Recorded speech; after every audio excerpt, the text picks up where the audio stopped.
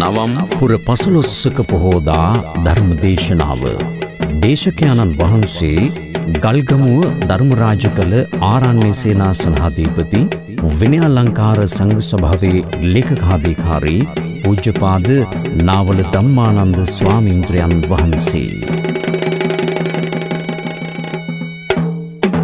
නමෝ තස්ස භගවතු අරහතු සම්මා සම්බුද්දස්ස නමෝ තස්ස භගවතු අරහතු සම්මා සම්බුද්දස්ස.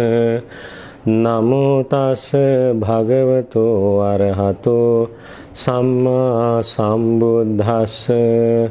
අද්දසාකෝ ආයස්මා මහා මොග්ගල්ලානෝ. මාරං පාපිමතං පාපිමන්තං කුච්චේගතං කොට්ඨමනුපවිට්ඨං දිස්වාන මාරං පාපිමන්තං ඒතදවෝච නික්ඛම පාපිම මා තථාගතං විහෙසේසි මා තථාගත ශාවකං මාතේ අහෝසි දීඝරත්තං අහිතාය දුක්ඛායාති.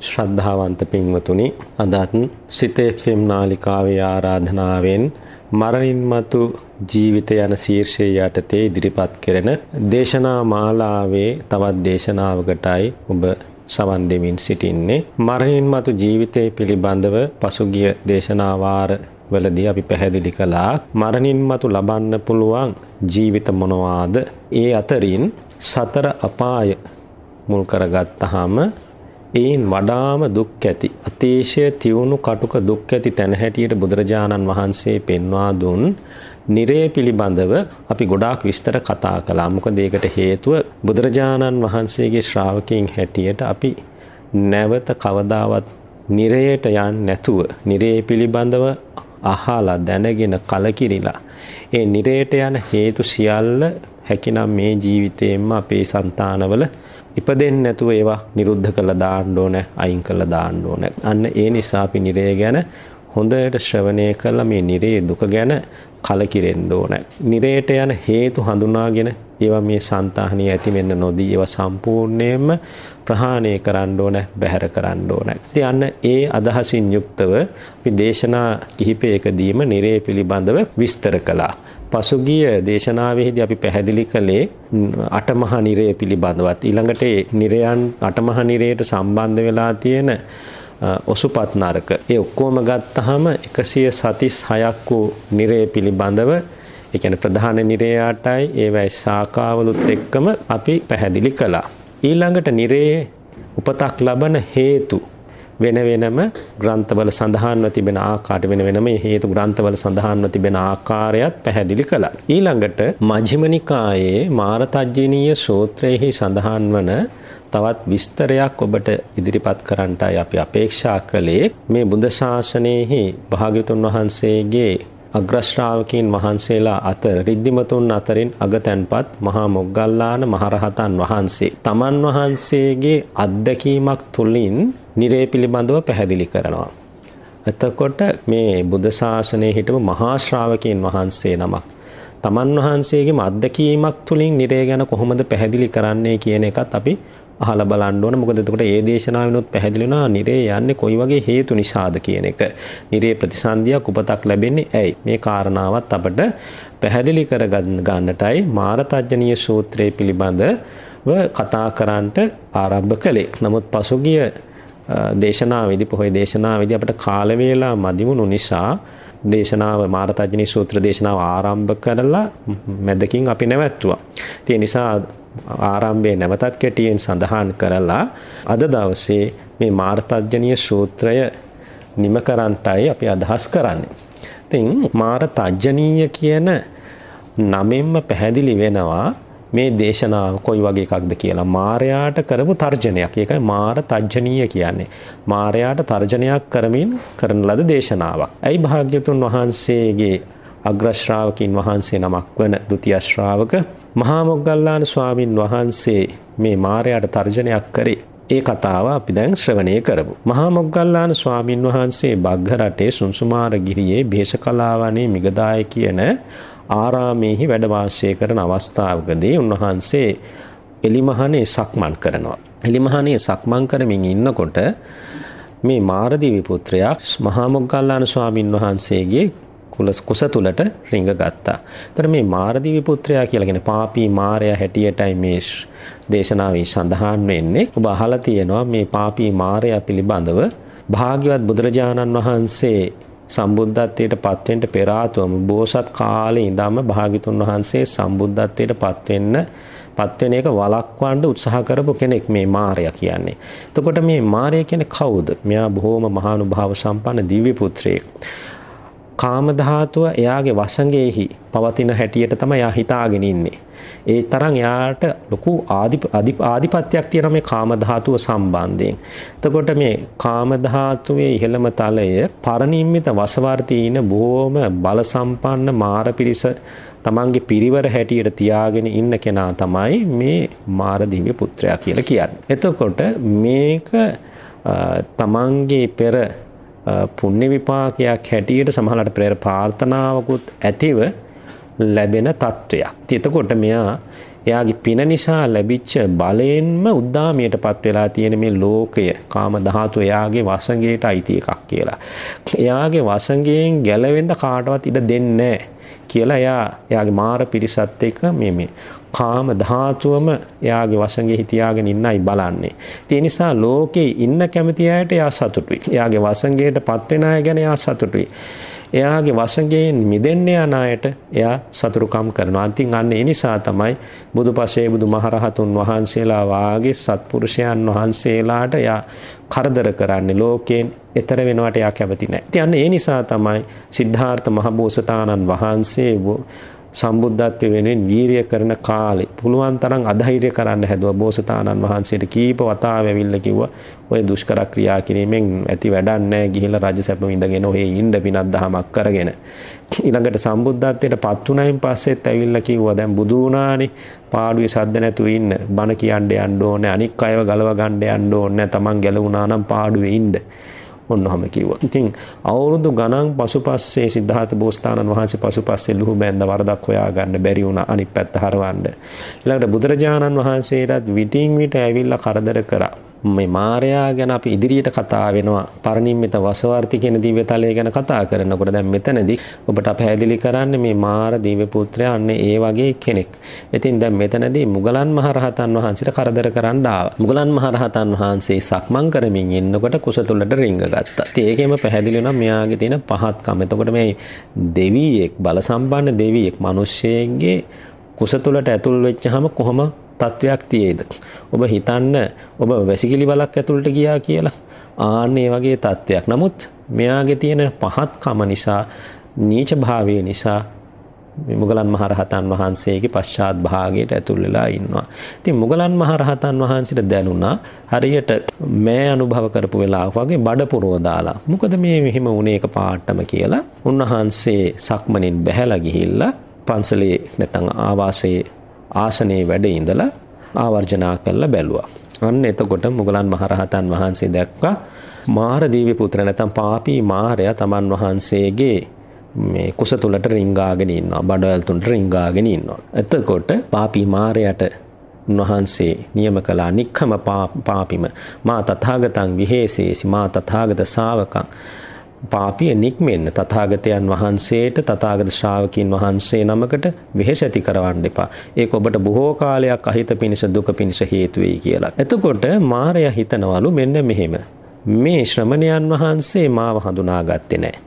මාව හඳුනා නොගෙනම මට කියනවා පාපිය නික්මෙන්න පාපිය නික්මෙන්න තථාගතයන් වහන්සේට හෝ තථාගත ශ්‍රාවකීන්ට වෙහෙසක් ඇති කරවන්න එපා.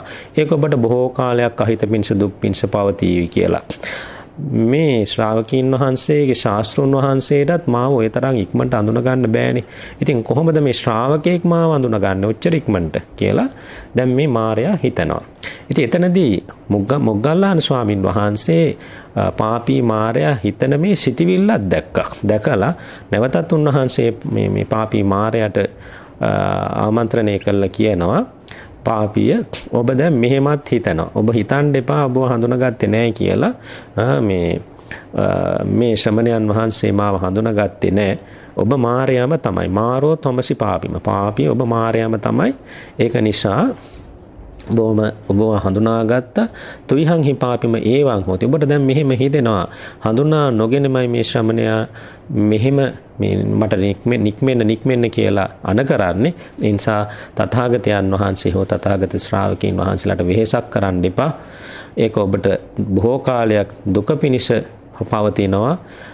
මේ මුන්වහන්සේගේ ශාස්ත්‍රුන් වහන්සේටවත් ඔච්චර ඉක්මනට හඳුන ගන්න බැරෑ මාව මේ ශ්‍රාවකයා කොහොමද මාව මෙච්චර ඉක්මනට හඳුන ගන්න කියලා ඔබ හිතන එකත් මට දැනෙනවා පෙනෙනවා කියලා මුගලන් මහරහතන් වහන්සේ මාරයට නියම කළා. නික්මෙන හැටියට. ඊට පස්සේ ඔන්න මාරයා තේරුම් ගත්ත හරි හරි දැන් නම් මේ ශ්‍රමණයන් වහන්සේ මාව හඳුනාගෙනම තමයි පාපිය මට නික්මෙන්න පාපිය මට නික්මෙන්න තථාගතයන් වහන්සේට හෝ තථාගත ශ්‍රාවකීන්ට හිංසා කරන්න එපා කියලා කියන්නේ. එහෙම කියලා හිතලා මේ පාපී මාරයා මොකද කළේ?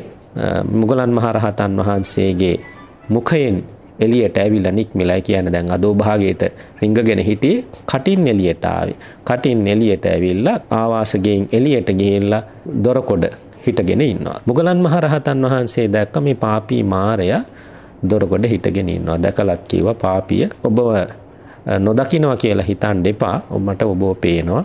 ඔබ මේ දොරකොඩ ඉන්නවා කියලා. ඊට පස්සේ උන්න දැන් මුගලන් මහරහතන් වහන්සේ පෙර තමන් වහන්සේගේ අත්දැකීමක් කියනවා. භූත පුබ්බාහාම් පාපෙම දුසී නාම මාරෝ අහෝසි. කාලෙකට ඉස්සල්ලා ඉඳලා තියෙනවා දුසී නමින් මාරෙක්. දැන් මාරදිව්‍ය පුත්‍රයාට වසවර්ති මාරදිව්‍ය පුත්‍රයා කියලා කියනවානේ. ඊට කලින් හිටපු මාරයෙක් ගැනයි මේ කියන්නේ. ඒ මාරයාගේ නම දුසී. තස්ස මේ කාලී නාම භගිනී තස්සාත්වං පුත්තෝ.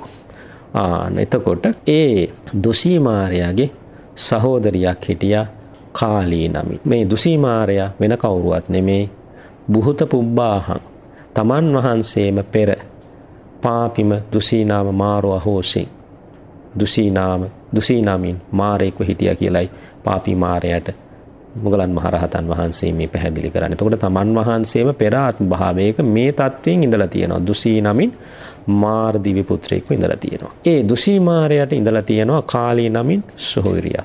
ඒ සොහෝරියගේ පුතා තමයි ඔබ කියලා මුගලන් මහරහතන් වහන්සේ මේ වසවාති මාරදීවි පුත්‍රයාට ඥාතීත්වයක් තියෙන බව පෙන්වා දෙනවා. කියන්නේ තමන් වහන්සේට කලින් ඥාතීත්වයක් තිබිච්ච කෙනෙක්. කවුද මේ බෑනා වසවාති මාරයා.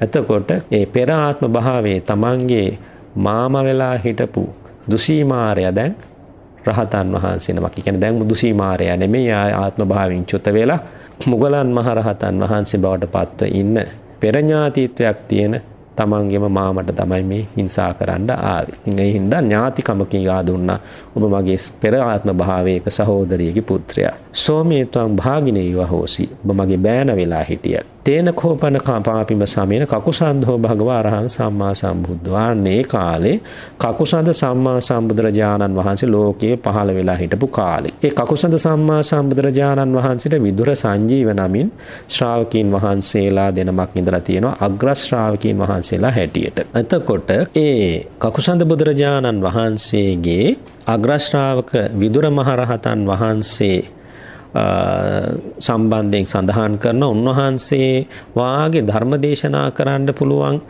වෙනත් ශ්‍රාවකින් වහන්සේ නමක් ඒ කාලේ හිටියේ නැහැලු.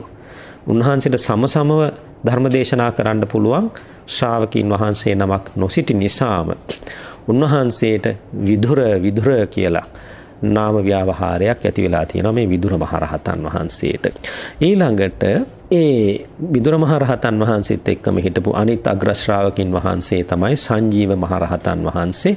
ඉතින් මේ සංජීව මහරහතන් වහන්සේ ගහක් මුල වැඩ හිටියත්, කැලේක වැඩ හිටියත්, විවේකස්ථානයක වැඩ හිටියත්, ඊටාම ඇසිල්ලෙන් උන්වහන්සේ සංඥා වේදිත නිරෝධයට සමවැදිලා එක විශේෂ සමාපත්තියක් සමවැදිලා වාසය කරනවා. ඉතින් මේ සංජීව මහරහතන් වහන්සේ එක්තරා ගහක් මුල සංඥා වේදිත නිරෝධයෙන් ඒ කියන්නේ නිරෝධ සමාපත්තියෙන් වැඩ ඉන්නකොට උන්වහන්සේ නිශ්චලව ඉන්නවා. එතකොට මේ නිරෝධ සමාපත්තියට සමවැදිච්ච ආර්යයන් වහන්සේ නමකට කියන්නේ අනාගාමි හෝ රහතන් වහන්සේ නමකට හුස්ම වැටෙන්නේ නැහැ. සංඥා වේදනා මුකුත් ඇත්තේ නැහැ. රූපකය නිශ්චලව තියෙනවා. සිත් පහළ වීමක් නැහැ. ඒක විශේෂ අවස්ථාවක්. ඉතින් දැන් උන්වහන්සේ මේ විදිහට නිශ්චතලව ගහක් මුල වාඩි වෙලා ඉන්නකොට ඒ අසලින් යන පාරේ ගමන් කරන පුද්ගලයෝ ඊළඟට හරක් බලන ගොපල්ලෝ දර හොයන්න යන අය ගොවියෝ දැක්කා මේ ස්වාමින් වහන්සේ නමක් ගහක් මුල වැඩ ඉන්නවා. දැන් ඒ අය බැලුවා දවසක් දෙකක් දැන් උන්වහන්සේ නිශ්චල වැඩ ඉනවා. ළඟට ගිහින් බැලුවා. හුස්ම වැටෙන්නේ නැහැ. කතා කළා. නිශ්චලයි. ඇහෙන්නේ නැහැ. නැගිටින්නේ නැහැ. කිසිම සංඥාවක් නැහැ. ඊට පස්සේ දැන් මේගොල්ලෝ එකතු වෙලා වට වෙලා කතා වෙනවා. හරි වැඩේ මේ හරි ආශ්චර්යමත් හරි පුදුම සහගතයි. අනේ මේ ස්වාමින් වහන්සේ වාඩි වෙලා භාවනා කරමින් ඉන්නකොටම අපවත් වෙලා. ඉතින් දැන් අපි එහෙනම් මෙතනදී මුන්වහන්සේව ආදාහනය කරමු කියලා ඒ අය මොකද ගලේ ඒ ඉන්න ඉරියව්වෙම උන්වහන්සේව ආදාහනය කරන්න කියලා දරගෙන අල්ලා වටේ අහුරලා චිතකේ වාගේ හදලා ඊළඟට ගින්දර තිබ්බා. ගින්දර තිබ්බහම මොකද වුනේ? අර දර ඔක්කොම දැවිලා ගියා. නිරෝධ සමාපත්තියට සමවැදිච්ච රහතන් වහන්සේ නමකට කිසිම විදිහකින් නැත්නම් අනාගාමී ආර්යයන් වහන්සේ නමකට කිසිම විදිහකින් ජීවිත හානියක් වෙන්නේ නැහැ. උන්වහන්සේගේ අදිෂ්ඨානය අනුව අදිෂ්ඨිත කාලයෙන් පස්සේ උන්වහන්සේ නැගී හිටිනවා. සමාපත්තියෙන් නැගී හිටිනවා. ඉතින් අන්න ඒ විදිහට සංජීව මහරහතන් වහන්සේගේ සිවුරේ නූල් පොටක්වත් අර ගින්නෙන් දැවුනේ නැහැ. සංජීව මහරහතන් වහන්සේගේ අදිෂ්ඨාන කාලය අවසන් වෙනකොට අදිෂ්ඨිත කාලය අවසන් වෙනකොට සමාපත්තියෙන් නැගිට්ටා. නැගිටලා නැගිටලා බැලින්නම් සිවුර පුලාම දැලි යාලු හැමතැනම. ඉතින් උන්වහන්සේ මොකද කරේ නැගිටලා සිවුර හොඳට ගසාගෙන නැවත සිවුර පොරවාගෙන පාත්‍රයක් තරම් පින්ඩ පාතේ වැඩිය. මොකද දැන් දවස් කීපයකින් පස්සේ තමයි උන්වහන්සේ සමාපත්තියෙන් නැගිහිල්ලා මේ පින්ඩ පාතේ වඩින්නේ. ඉතින් පින්ඩ පාතේ වඩිනකොට මේ සංජීව මහරහතන් වහන්සේ අපවත් වුණා කියලා හිතාගෙන ආදාහනය කරලා ආපු මිනිස්සු ගෝපාලෝ කාරක් බලන මිනිස්සු ඊළඟට ගෝවියෝ පාරේ යන අය හරි පුදුමයටපත් වුණා. හරි ආසිරිමත් හරි පුදුම සහගතයි. දැන් මේ ශ්‍රමණයන් වහන්සේ අපවත් වෙලා අපි ආදාහනය කළා. මෙන්න දැන් උන්වහන්සේ මේ වැඩේ ඉන්නවා. උන්වහන්සේ පිණ්ඩපාතේ යනවා. උන්වහන්සේ නැවත ජීවත් වෙනවා. නැවත ජීවත් වෙනවා කියලා සංජීව කියන ව්‍යවහාරයෙන් උන්වහන්සේට ආමන්ත්‍රණය කළා. ඊට පස්සේ දැන් ඔන්න ඔය කාලේ හිටපු මාරයා තමයි කවුද? දුෂී මාරයයි කියන්නේ පෙර ආත්ම භාවයක මුගලන් මහරහතන් වහන්සේ. ඉතින් මේ දුෂී මාරයා දැක්ක මේ භික්ෂුන් වහන්සේලා කියන්නේ කකුසඳ බුදුරජාණන් වහන්සේගේ කාලේ ශාසනයේ හිටපු භික්ෂුන් වහන්සේලා බොහෝම සිල්වත් යහපත් ගුණධර්ම තියෙන අය. උන්වහන්සේලාගේ කිසිම වරදක් දෝෂයක් දකින්නේ නැහැ. ඊට පස්සේ මේ දුෂීමාරයා කල්පනා කළා මුන්නහන්සේලාගේ සිත් කලඹවන්න ඕන වෙනස් කරන්න ඕනේ. ඒ කියන්නේ දැන් උන්වහන්සේලා කිසිම වරදක් දෝෂයක් නැතුව මේ නිවන් මඟ අනුගමනය කරනකොට උන්වහන්සේලා ඊටා ඉක්මනින් සසර දුකින් නිදහස් වෙයි කියලා දුසීමාරයට පෙනී ගියා. ඉතින් ඒ නිසා දුසීමාරයා කල්පනා කළා උන්වහන්සේලාට බාධා කරන්න ඕනේ, මඟ වෙනස් කරන්න ඕනේ. ඒක නිසා බ්‍රාහ්මණයන්ට ආවේශ වෙලා මේ අයට බන්නවන්න ඕනේ. මේ හාමුදුරුවන්ට හොඳටම බන්නවන්න ඕනේ. ඉතින් දැන් මාරදීවි පුත්‍රයා මොකද කළේ මේ බමුණන්ට පේන විදිහට නොයෙක් මේ විසම දර්ශන පෙන්නනවා. ඒ කොහොමද දැන් මේ සිල්වත්ව ගුණවත්ව හොඳට ಗುಣධර්ම පුරාගෙන ඉන්න හාමුදුරුවරු වැරදි කරන හැටියට පෙන්නනවා දර්ශන පෙන්නනවා. එතකොට දැන් මේ බමුණු ඔය අය හරියට ශ්‍රද්ධාව පිහිටුවාගෙන නැහැ තිසරණෙහි පිහිටලා නැහැ. එතකොට මේ විසම දර්ශන දකිනකොට මේ හාමුදුරුවරු කරන වැරදි වගේ වැඩ පේනකොට මේගොල්ලෝ මොකද කළේ මේ සිල්වත් ගුණවත් හාමුදුරුවන්ට බනින්න දොස් කියන්න අපහාස කරන්න පටන් ගත්තා. අන්න එතකොට දුසීමාරය මේ උපක්‍රමයේ යෙදුවේ මොකද? අන්න එතකොට හාමුදුරුවන්ට බයිනකොට දොස් කියනකොට ඒ හාමුදුරුවරුත් ඒ සම්බන්ධයෙන් කිපුණොත් පෙරලා බැන්නොත් දොස් කිව්වොත් අර බමුණන්ට අන්න මාරයට පුළුවන් අර ක්ලේශය ඔස්සේ හිත්වලට රිංගගෙන හිත් සම්පූර්ණයෙන් අනිත් පැත්ත හරවන්න ප්‍රතිපදාවෙන් බැහැර කරවන්න. මේකෙන් ඔන්න අපටත් හොඳ පාඩමක් ඉගෙන ගන්න පුළුවන්. ඒ කියන්නේ අපේ හිතේ තරහක් ඇති වුණොත් ඒ කියන්නේ අපි කාටද කතා කරන්නේ? මාරයට එන්න එන්න කියලා කතා කළා වගේ. එතකොට අපේ ප්‍රතිපදාවෙන් සම්පූර්ණයෙන්ම අපිව බැහැර කරවන්න අන්න මාරයට අවස්ථාවක් ඉඩක් අපි ලබා දෙනවා. ඉතින් අන්න ඒ නිසා දැන් මාරයත් බැලුවේ මේ අවස්ථාව ගන්න. ඉතින් දැන් මේ විදිහට මාරදිව්‍ය පුත්‍රයා මේ විසම දර්ශන පෙන්නනකොට මේ සිල්වත් කල්යාණ ධර්ම ඇති ගුණ ධර්ම ඇති භික්ෂුන් වහන්සේලාට බමුණෝ නොයෙක් විදිහට බනින්න දොස් කියන්න පටන් ගත්තා. මේගොල්ලෝ මේ බිම බලාගෙන ගස් මුල් වල වාඩි වෙලා කල්පනා කර කර ඉන්නවා භාවනා කරනවා භාවනා කරනවා කියලා. ඉතින් එතකොට මේගොල්ලෝ මොනවද මේ මෙච්චර කල්පනා කරන්නේ හරියට මේ බලල්ලු läගගෙන මීයෝ වෙනකම් බලාගෙන ඉන්නවා වගේ. භාවනා කරනවා භාවනා කරනවා කියලා මේගොල්ලෝ මොනවද මේ මෙච්චර කල්පනා කර කර ඉන්නේ මොනව කරන්නද මොන විදිහේ වැරදි කරන්නද මොන විදිහ අපරාධ කරන්නද මේගොල්ලෝ මෙච්චර මේ කල්පනා කර කර ඉන්නේ කියලා ඔන්න ඔය විදිහට බොහෝම දොස් කියන්න පටන් ගත්තා. මෙහෙම දොස් කියනකොට ඒ කාලේ මරණයට පත්වෙන බොහෝ මිනිස්සුયો ඒ තමන් මේ සිල්වත් ගුණවත් හාමුදුරුවන්ට බැනලා දොස් කියලා අපහාස කරලා අපායෙහි දුගතියෙහි නිරේ ගිහින් පහළ වුණා කියලා සඳහන් කරනවා. බලන්න දැන් මේ මාරේකුට කරන්න පුළුවන් දේවල් මාරේකුට පුළුවන් විසම දර්ශන ඇති කරලා මිනිස්සු සද්ධාව හරියට නොපිහිටි මිනිස්සුන්ගේ සිත් කලම්බවලා ඒගොල්ලොන්වත් දුගතියට ඇද දම්මන්න පුළුවන්.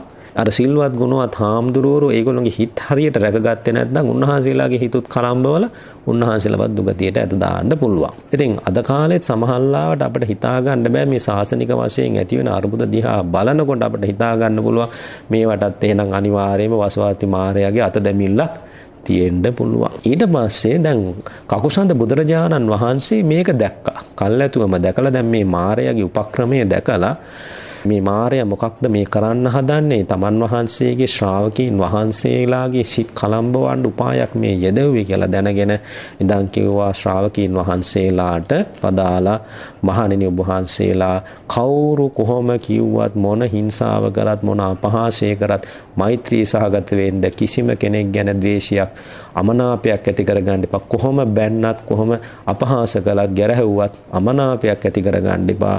ඒ සියලු දෙනා ගැන අප්‍රමාණ මෙත් සිතක් ඇති කරගන්න දස දිසාවන්ට පැතිරුණු මෛත්‍රී චිත්ත සමාධියක් ඇති කරගන්න කරුණා චිත්ත සමාධියක් ඇති කරගන්න මුදිතා චිත්ත සමාධියක් ඇති කරගන්න උපේක්ෂා චිත්ත සමාධියක් ඇති කරගන්න මේ විදිහට මුළු මහත් ලෝක ධාතුවම සතර බ්‍රහ්ම විහරණයන්ගෙන් පතුරවාගෙන වාසය කරන්න කියලා. ඉතින් කකුසඳ බුදුරජාණන් වහන්සේගේ ශ්‍රාවකයන් වහන්සේලා අරණ්‍යකට ගියත් ගහක් මුලට ගියත් පාළු විවේක තැනකට ගියත් මේ සතර බ්‍රහ්ම විහරණ අත්හරින්න නැතුව හොඳට පුරුදු පුහුණු කළා. ඉතින් එතකොට මොකද වුනේ උන්වහන්සේලාගේ සිත් මේ ධ්‍යාන සතර බ්‍රහ්ම විහරණ ධ්‍යානයන්ගෙන් ශක්තිමත්ව තිබිච්ච නිසා මාරදිව පුත්‍රයාට කිසිම විදිහේ බලපෑමක් කරන්න ලැබුණේ නැහැ. අන්න එතකොට ඒකෙන් පේනවා බුදුරජාණන් වහන්සේ සඳහන් කරනවා මේ ධ්‍යානයකටපත් වුණා කියන්නේ මාරයාගේ ඇහැ වහලා දැම්මා වගේ. කියන්නේ මාරයාට මුකුත් කරන්න බෑ එතකොට. මාරයාගේ දර්ශන පතෙන් එහාට ගිය තැනක්. මේ බලවත් චිත්ත සමාධියක් ඇති කර ගැනීම. අන්න ඒක නිසා තමයි අපි හොඳ චිත්ත සමාධියක් ඇති කරගන්න උත්සාහවන්ත වෙන්න ඕනේ. එතකොට මායයාගේ බලපෑමෙන් අපිට මිදෙන්න තියෙන ලොකු අවස්ථාවක් తాවකාලිකව හරි බලවත් චිත්ත සමාධියක් ඇති කරගත්තොත් අපේ හිත කලඹවන්න මායයට තියෙන අවස්ථාව මායයාගේ ග්‍රහණයෙන් අපි తాවකාලිකව හරි නිදහස් වෙනවා. ඊළඟට මායයා දැනගත්ත තමන්ගේ උත්සාහය හරි ගියේ නැහැ. ඊට පස්සේ මාරදිව පුත්‍රයා තවත් උපායක් යෙදුවා. ඒ මොකද්ද? අර බමුණන්ට ආවේශ වෙලා බමුණන්ව මෙහෙව්වා මේ ශ්‍රාවකීන් වහන්සේලාට සත්කාර සම්මාන කරන්න. මේ ශ්‍රාවකීන් වහන්සේලා බොහෝම සිල්වත් ගුණවත් මුන්වහන්සේලාට ඒකාන්තයෙන් දන් දෙන්න ඕන ප්‍රස්ථාන කරන්න ඕන කියලා ඒ අයගේ හිත් පෙළඹෙව්වා ලාභ සත්කාර සඳහා. මොකද මාරදිව්‍ය පුත්‍රයා බැලුවේ ලාභ සත්කාර වලින් කෙනෙක්ගේ හිත වෙනස් කරන්න පුළුවන්. ක්‍රෝධයෙන් තරහෙන් වෙනස් කරන්න බැරි නම් ඒ හිත ලාභ සත්කාරයෙන් බොහොම පහසුවෙන් අනිත් පැත්ත හරවන්න පුළුවන්. මොකද භාග්‍යතුන් වහන්සේම පෙන්වා දීලා තියෙනවා මේ ලාභ සත්කාර කීර්ති ප්‍රශංසාවලට හිතේ තියෙන ඇල්ම හරියට සිවිය සම්මස්නහර ඇට විදගෙන ඇට මිදුළු වල තැම්පත් වෙලා තියෙන එකක්. මව්පියන්ගේ සෙනෙහසට විතරයි භාග්‍යතුන් වහන්සේ මේ උපමාව වදාලි සිවිය සම්මස්නහර විදගෙන ඇටත් විදගෙන ඇට මිදුළු වල තැම්පත් වෙලා තියෙනවා කියලා. ඒ කියන්නේ එතකොට පේනවා ලාභයට කොච්චර පහසුවෙන් හිත ඇදිලා යනවද කියලා. ඉතින් එහෙම පෙරලන්න තමයි බැලුවේ. ඒක නිසා බුදුරජාණන් වහන්සේ කල් ඇතුවම තමන් වහන්සේගේ ශ්‍රාවකින් වහන්සේලාට අවවාද කළා. මහණෙනි ඔබලාට කොච්චර ලාභ සත්කාර කීර්ති ප්‍රශංසා ලැබුණත් ඔබ වහන්සේලාගේ හිත රැක ගන්න මේ දුසීමාරයට ඉඩක් නොලැබෙන්න හොඳට හිත රැක ගන්න මහණෙනි ඔබලා අසුබ වශයෙන් බලන්න මේ ශාරීරිය පිළිකුල් කුණප කොටස් වලින් හැදිච්ච එකක්. මේකට කොච්චර වැන්දා ගරු බුහුමන් කළා කිව්වත් මේකේ තියෙන්නේ පිළිකුල් කුණප කොටස්. මේක අසුබ වශයෙන් බලන්න කොච්චර රසමසවුලෙන් යුක්ත භෝජන ආහාරයට දුන්නත් මේක මේ ශරීරයට ගිහිල්ලා මේක පිළිකුල් වෙලා යනවා. මේකේ දෙතිස් කුණපයක් තියෙන්නේ. මේක අසුබ වශයෙන් බලන්න. ඊළඟට ආහාරයේ පිළිකුල් සංඥාව ඇති කරගන්න උරෙන් පල්ලෙහාට ගියන් පස්සේ මේ ආහාරය කෙලත් එක්ක මිශ්‍ර වෙලා කොහොමද මේ කුස තුල හරියට බලුවමනයක් වගේ කැකෑරෙමින් බඩවැල් තුලට ගිහිල්ලා අසුචි බවට පත් වෙන්නේ මේක හොඳට සිහි කරන්න. මේ රසවත් සුවඳ හමන ඇල්හාලේ බතුත් මසුත් අන්තිමට අසුචි බවට පත් වෙනවා නේද කියලා ආහාරයේ පිළිකුල් සංඥාව ඇති කරගන්න. සබ්බ ලෝකේ අනභිරත සංඥා කියන්නේ මුළු මහත් ලෝකෙහිම හිත නොයැලෙන සංඥාව හිතේ පිහිටන්න පිහිටුවා ගන්න සබ්බ සංකාරයේසු අනිච්චානුපස්සී සියලු සංස්කාරයන් අනිත්‍ය වශයෙන් දකින විදර්ශනා නුවණ ඇති කරගන්න. එතකොට මායයට ඔබේ සිත් පෙරලන්න බෑ කියලා කකුසඳ බුදුරජාණන් වහන්සේ භික්ෂුන් වහන්සේලාට උපදෙස් දුන්නා. ඒ උපදෙස් අනුගමනය කරපු මේ භික්ෂුන් වහන්සේලා කැලේකට ගියත්, ගහක් මුලකට ගියත්, පාළු විවේක තැනකට ගියත් අසුබ භාවනාව වඩනවා. මේකයි දෙතිස් කුණුපයන්ගෙන් යුක්ත අසුබ ශරීරයක් කියලා දකිනවා. ආහාරයේ පිළිකුල් වශයෙන් දකිනවා. එතකොට ආහාරයේ ගිජු වෙන්නේ නැහැ. ලාභෙහි ඇලෙන්නේ නැහැ. ඊළඟට මුළු මහත් ලෝකෙහිම කලකිරෙනවා සියලු සංස්කාර අනිත්‍ය වශයෙන් දකිනවා. දැන් මෙහෙම ඉන්නකොට ඒ වගේ සිල්වත් ගුණවත් ස්වාමින් වහන්සේලාට පූජා සත්කාර කරන මිනිස්සුયો බොහෝ දෙනෙක් මැරිලා සුගතියෙහි ස්වර්ගයේහි ඉපදුනා කියලා සඳහන් වෙනවා. එතනදී නම් මිනිසයන්ට ලාභයක් වුණා මාරදිව්‍ය පුත්‍රයා මෙහෙවල කරපු මේ වැඩේ හින්දා. ඊට පස්සේ දැන් මාරදිව්‍ය පුත්‍රයාට හරීම හිතේ තරහක් තියෙන ඇයි. මේ හාමුදුරුවරුන්ට බැන්නේව්වත් මුන්නහන්සලා හිත රැකගත්තා. ලාභ සත්කාර දුන්නත් ඒත් හිත රැකගත්තා. මේ හාමුදුරුවරුන්ගේ හිත කලබවන්න බැරි වෙච්ච එක ගැන මේ දුසීමාරය හරිම තරහෙන් හිටියේ. ඉතින් කකුසඳ බුදුරජාණන් වහන්සේ දවසක් පිණ්ඩපාතේ වඩින්න සිවුර පොරවාගෙන පාත්‍රයත් අරගෙන වැඩම කරනවා භාග්‍යතුන් වහන්සේගේ උපස්ථායකින් වහන්සේ හැටියට පසුපසින් යන්නේ කවුද? විදුර මහරහතන් වහන්සේ. අර ධර්ම දේශනා කිරීමේ විශේෂ හැකියාවක් තිබිච්ච විදුර මහරහතන් වහන්සේ. ඉතින් ගමට පිණ්ඩපාතේ වැඩම කරපු වෙලාවේ දුසී මාර්යා මොකද කළේ? පොඩි දම් ළමයෙකුට කියන්නේ සාමාන්‍යයෙන් ගලක් ගහන්න පුළුවන් තරම් ශක්තිය තියෙන ළමයෙකුට ආවේශ වුණා. ආවේශ වෙලා ගලක් අරගෙන අර විදුර මහරහතන් වහන්සේගේ හිස පැලෙන්න අර ළමයා ලව්වා. ඒ කියන්නේ ළමයාට වැහිලා ළමයා ලව්වා ගල ගැස්සුවා. එතකොට දැන් මෙතනදී සම්පූර්ණයෙන්ම ළමයාට ආවේශ වෙලා හිටියේ. දැන් කලින් මේ අර බමුණන්ට විසම දර්ශන පෙන්නවා විතරයි. මෙතනදී ළමයාට සම්පූර්ණයෙන් ආවේශ වෙලා හිටපු හින්දා ගල ගහපු අකුසලයේ වෙන්නේ කාටද? ළමයාටද මාරයටද? මාරයටයි වෙන මොකද ළමයාගේ සිත වහලා දුසී මාරයයි මේ වැඩේ කරේ. ඒක හින්දා දුසී මාරයට මේ අකුසලයේ සිද්ධ වුණේ. ගල වැදිලා මොකද වුණේ? විදුර මහරහතන් වහන්සේගේ හිස පැලුණා. හිස පැලිලා දැන් ලේ වැක්කිරෙනවා. විදුර මහරහතන් වහන්සේ ලේ ගලමින් බැලුවේ නෑ පිටිපස්සවත් හැරිලා වැඩම කරනවා. නමුත් බුදුරජාණන් වහන්සේ කකුසඳ බුදුරජාණන් වහන්සේ දැක්කා. මේ සිද්ධිය උන්වහන්සේගේ බුදු ඇසට පෙනී ගිය උන්වහන්සේ අනිත් පැත්ත හැරිලා දුසී මාරයට ඉඳන් මේ දුසී මාරයා තමන්ගේ තරම දැනගත්තේ නෑ කියලා.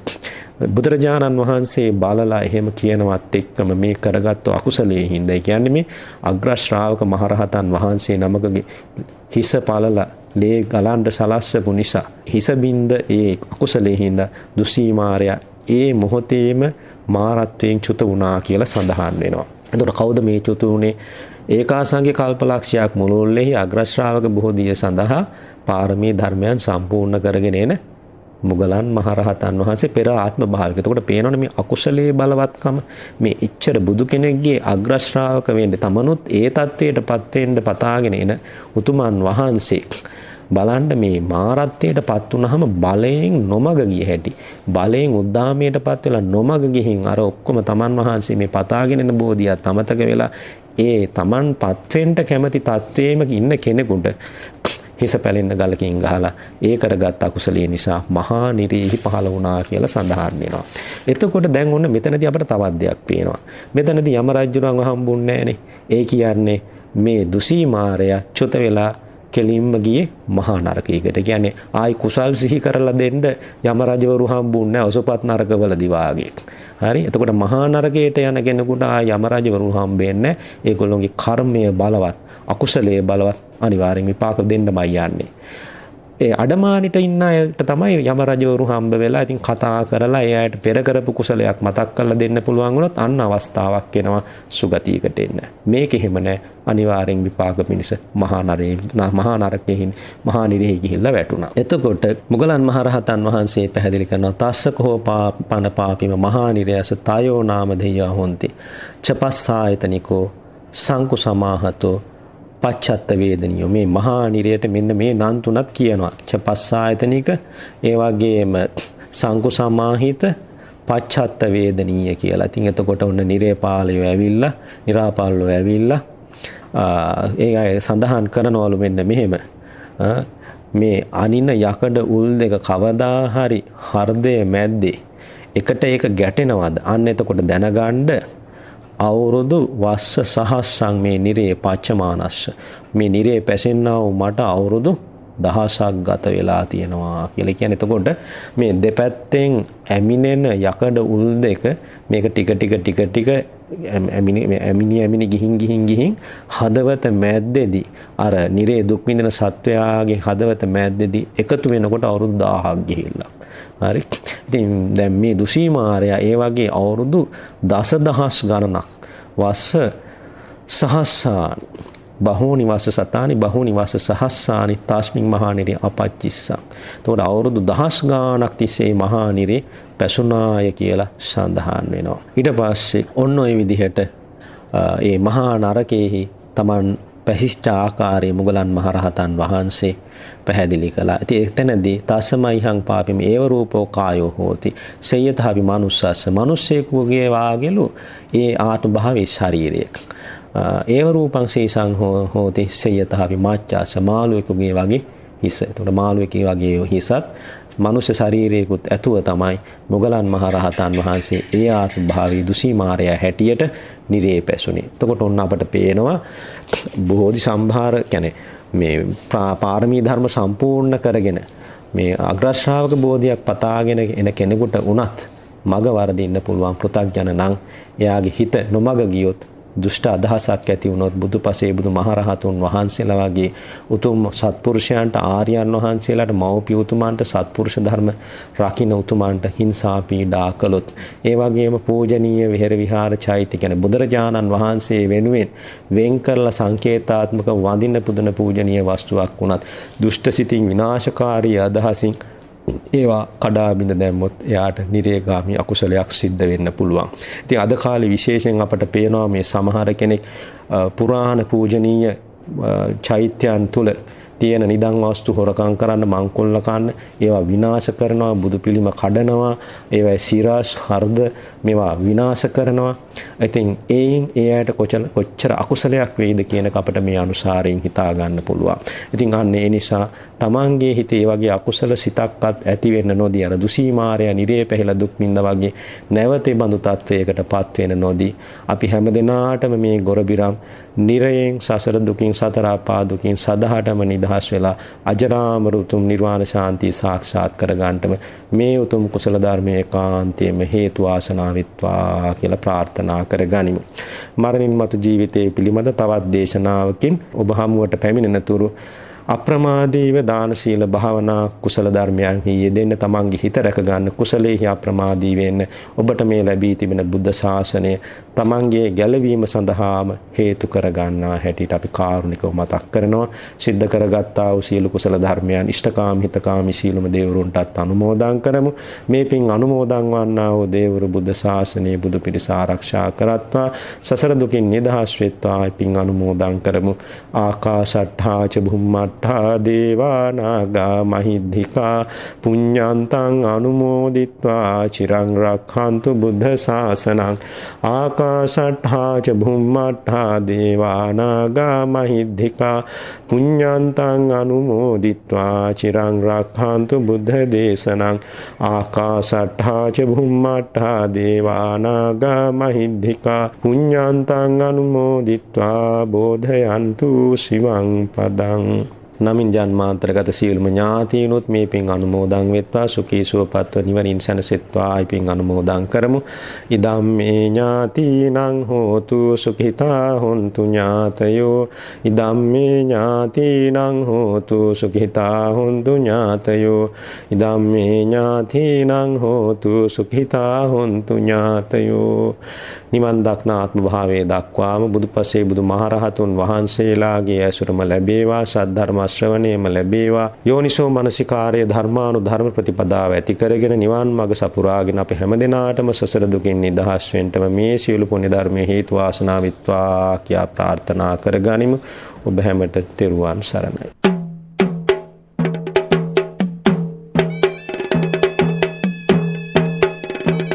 නවම් පුර පසළොස්සක පොහෝදා ඒ අවසන් වූ ධර්ම දේශනාවේ දේශකයාණන් වහන්සේ ගල්ගමුව ධර්මරාජ කළ ආරණ්‍ය සේනාසනහාධීපති විනයාලංකාර සංඝ සභාවේ ලේකකාධිකාරී පූජ්‍යපාද නාවල ධම්මානන්ද ස්වාමීන්ද්‍රයන් වහන්සේ.